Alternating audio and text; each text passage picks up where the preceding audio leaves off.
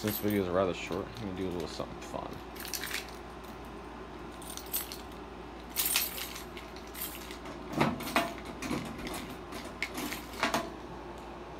Four thousand six, but watch this.